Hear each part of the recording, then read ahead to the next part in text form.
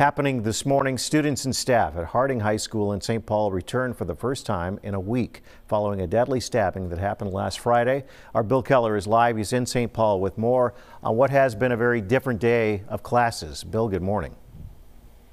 Good morning, Tom. Yeah, in fact, students have a modified schedule today. They are meeting in grade level assemblies. They are spending most of their day in their advisory class.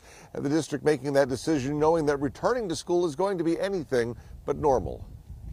Yeah, it's been a tough uh, six days. This morning, 1,700 students returned to Harding High School one week after 15 year old Devin Scott was fatally stabbed during a fight in the hallway. I think it's a mixed. Um, uh, mixed kind of feelings, right? Some students are anxious to, to come back. They want to be here and they're ready and um, they wish maybe that we would have returned back sooner.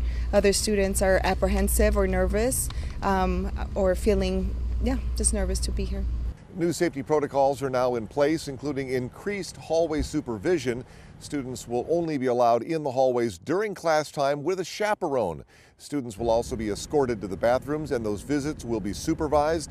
This morning, school staff says their focus is on creating space for connection, discussion, reflection, and community.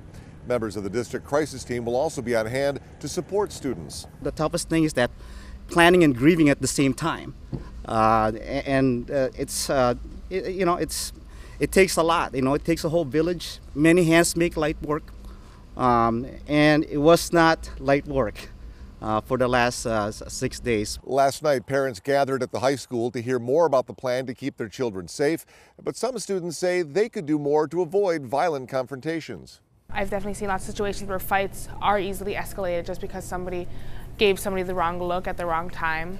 So I feel like if we learn to better control ourselves and our emotions and our instincts, we would we'd benefit a lot from that.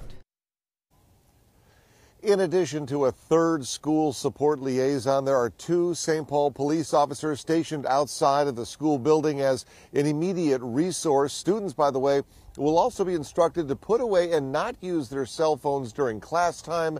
As for how long these new safety measures will be in place, Tom, the district says it will be monitoring this on a weekly basis and they will make adjustments as needed.